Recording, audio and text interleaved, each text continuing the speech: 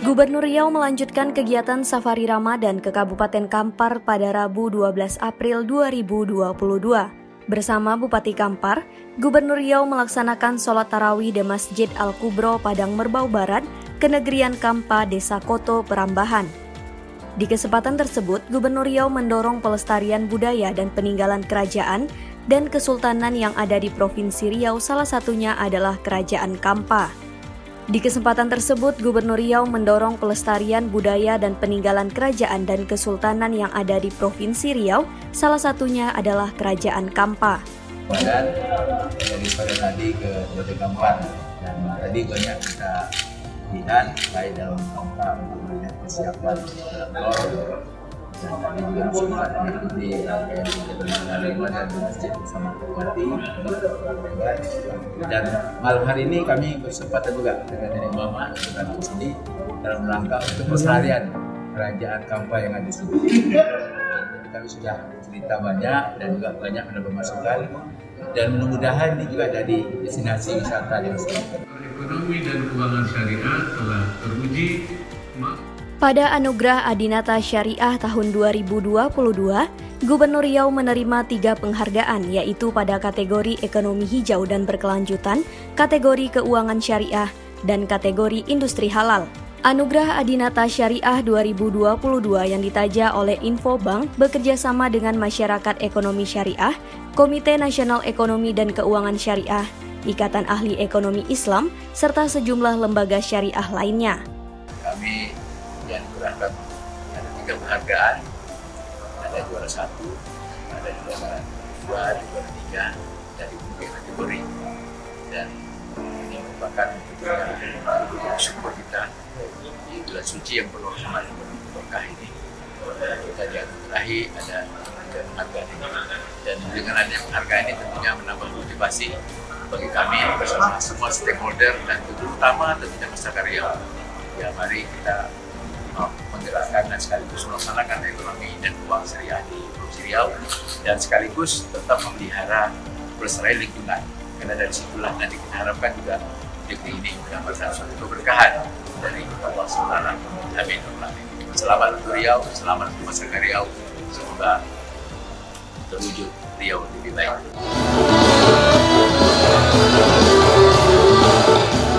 Gubernur Riau menghadiri ekspos pelaksanaan Musabakoh Tilawatil Quran ke-40 tingkat Provinsi Riau tahun 2022 di Kabupaten Rokan Hilir.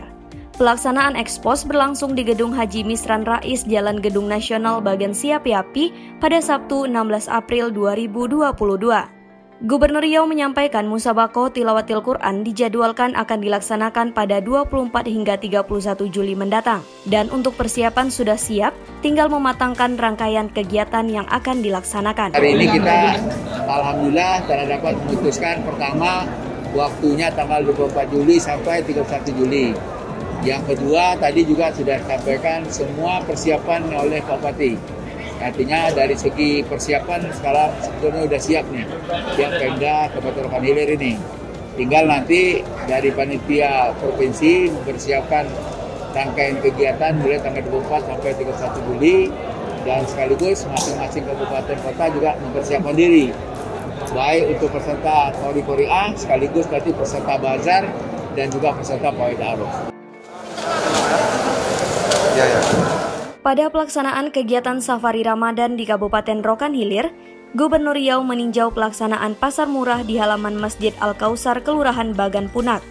Gubernur Riau berharap dengan operasi pasar, masyarakat bisa mendapatkan bahan pangan dengan harga terjangkau, sehingga masyarakat dapat menjalankan ibadah puasa dengan tenang dan mempersiapkan Idul Fitri yang tidak beberapa hari lagi. Hari ini Alhamdulillah kami sekaligus juga dapat menyaksikan adanya kegiatan pasar murah yang diadakan oleh pemerintah Riau dan ini sekaligus dapat ya, kiranya dapat membantu meringankan beban dari warga kita yang terdampak dengan uh, pandemi COVID-19.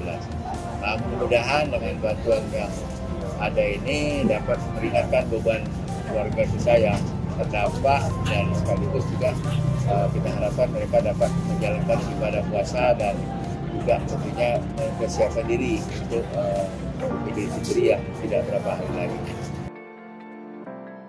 Usai meninjau pelaksanaan pasar murah, Gubernur Riau melanjutkan melaksanakan sholat isya dan tarawih bersama masyarakat.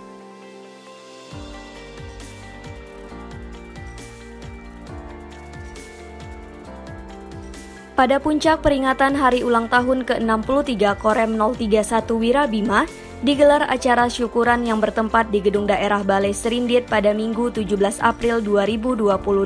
Syukuran kali ini mengangkat tema meningkatkan bakti untuk negeri. Atas nama pemerintah Riau ini mengucapkan selamat hari ulang tahun ke-63.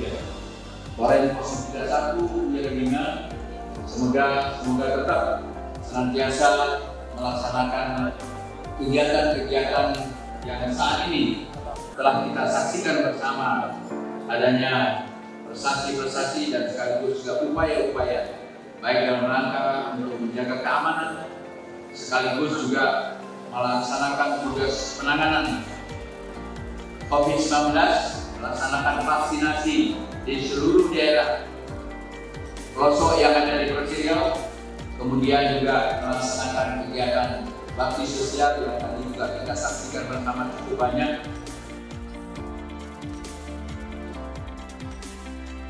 Pemerintah Provinsi Riau memperingati Malam Nuzul Quran 1443 Hijriah di Masjid Raya An-Nur pada Senin 18 April 2022. Pada tahun ini peringatan Nuzul Quran mengangkat tema dengan peringatan Nuzul Quran, jadikan Al-Quran sebagai pedoman dan tuntunan serta inspirasi kehidupan untuk kesejahteraan umat dan keselamatan bangsa. Gubernur Riau yang hadir pada kesempatan tersebut berharap Al-Quran dapat sebagai pedoman hidup umat Islam dan pedoman tersebut harus diamalkan serta disiarkan disiarkan dalam kehidupan sehari-hari. Al-Quran ini sekaligus untuk mengingatkan kita bahwa Al-Quran adalah pedoman hidup. Ya. Kalau kita ingin tentunya uh, dapat mewujudkan keluarga bahagia, sejahtera dunia akhirat ya tentunya Al-Quran ini jangan lupa dalam kehidupan kita. Jadi karena itu tentunya dengan adanya peringatan Al-Quran ini mengajarkan kepada kita agar kita mencintai Al-Quran dan setiap hari kita membaca Al-Quran dengan lisan seprovinsi. Gubernur Riau menghadiri launching program ketahanan pangan 1000 hektar di wilayah jajaran Korem 031 Wirabima yang dipusatkan di Jalan Garuda Sakti kilometer 11 Desa Karya Indah, Kecamatan Tapung, Kabupaten Kampar. Di kesempatan tersebut, Gubernur Riau menyampaikan pembangunan pertanian di Provinsi Riau dilakukan dengan peningkatan ketahanan pangan melalui pemenuhan kesediaan pangan. Nah ini semua adalah dalam rangka untuk menjaga ketahanan pangan yang ada di daerah ini. Nah, dan suasana seperti ini kita tahu bahwa Provinsi Riau ini masih membutuhkan beberapa produksi dari usaha-usaha tanaman pangan. Karena itu adanya inisiatif yang dilakukan oleh pada ini sangat membantu lah pemerintah daerah dan masyarakat sini agar tidak terjadi nanti kelangkaan pangan yang ada di daerah ini.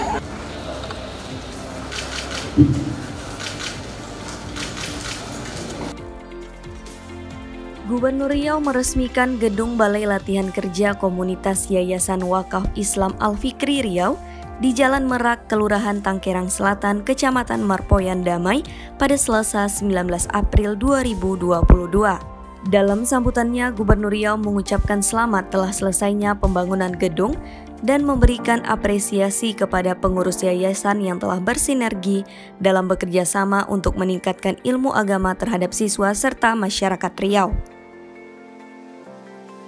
Jadi makanya ada BLK di di berbagai pondok pesantren ini atau pendidikan ini ini sangat membantu lah kekurangan yang ada BLK BLK di daerah. Kan BLK kabupaten kota ini banyak tak jalan.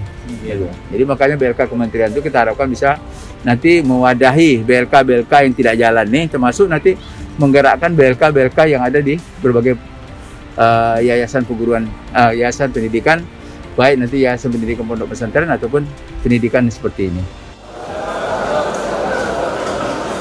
Gubernur Riau kembali melakukan kegiatan safari Ramadan tahun 2022.